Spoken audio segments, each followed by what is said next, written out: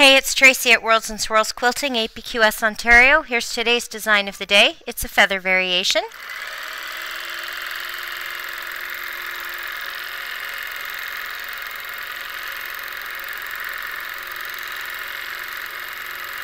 Okay, so I've got my spine. I'm just going to clip my top thread there.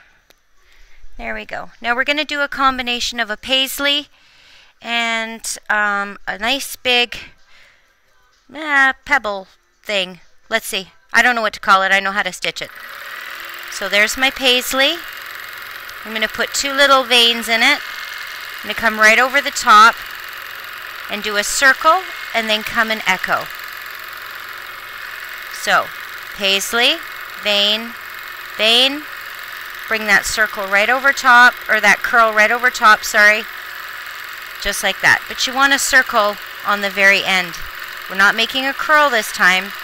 We're actually putting that little thing on the end, sort of like the butterfly feather that I did last year in the uh, Free Motion Quilting 101 series. It's that idea. But we've got this little paisley in the middle. So what happens is it makes it um, a nice dense design, but it's really open and airy as well.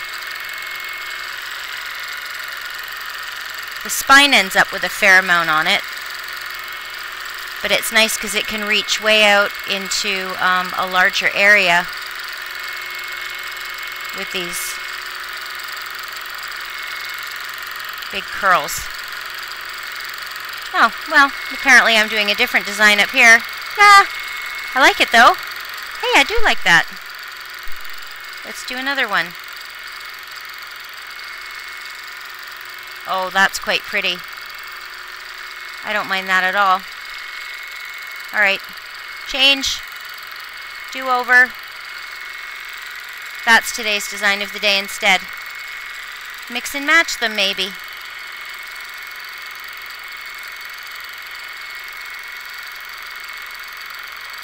So we make a circle at the end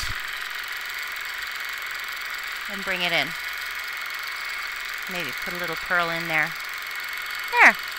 So that's today's design of the day. The spine ends up being quite thready. I think I'm going to put a couple more down, going down here.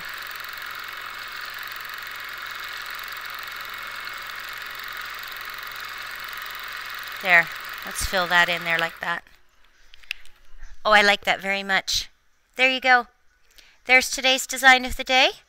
I hope you like it. Make sure you take the time to doodle, and I will see you tomorrow.